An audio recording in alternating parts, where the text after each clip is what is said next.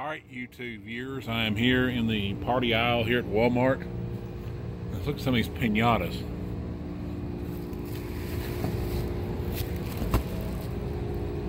Now that's a pinata. Let's see the shark going. Rawr!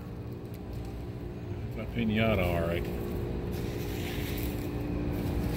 You're not into sharks? Boy, this pinata is huge. Look how big it is. Set it down here. This pinata has to be three feet tall. I mean, let's see, it comes up to about, about my waist. It's at least three to four feet. Not in for the big pinatas?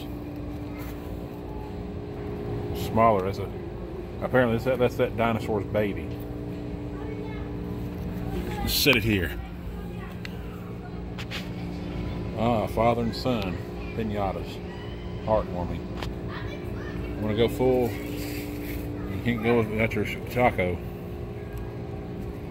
Now let's look at the pinatas here. And of course, you got the ones up there. Looks like a unicorn. Here's a gift pinata. Oh, and here's your pinata whacking stick. So you have a full pinata party. This is Kige Ramsey for YouTube Sports.